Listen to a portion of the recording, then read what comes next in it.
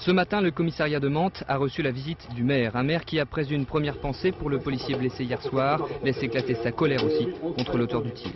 Ma deuxième pensée va vers les 44 999 Mantais qui vont souffrir de la présence d'un salopard à Mantes. Et euh, j'en profite pour dire que si ces 44 999 personnes veulent bien aider les forces de police à ce qu'on le trouve, bah, le maire s'en réjouira. Au val on ne sait pas d'où est parti le coup. Il était 21h15 hier soir, à ce coin de rue. Trois policiers de la BAC, la brigade anticriminalité des Yvelines, contrôlent cinq jeunes qu'ils soupçonnent de détenir du hashish, puis regagnent leur voiture.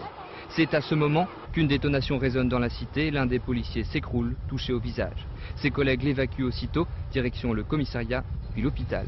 Une agression de trop pour certains habitants du quartier. Je même pas un an pour partir. Ah ouais, parce qu'on a, euh, moi avec tout ce qu'on entend, la vague fourrée, les voitures qui sont cramées, tout ça, on a trop peur maintenant. C'est grave là. Je pense que la quartier commence à devenir un peu grave aussi, cette, cette côté ici. Là. Devant cette inquiétude, le préfet, lui, veut rassurer et souligne le caractère isolé de l'agression. Il ne remet pas en cause la politique que nous développons en matière de sécurité, qui repose sur la prévention, la dissuasion et la répression.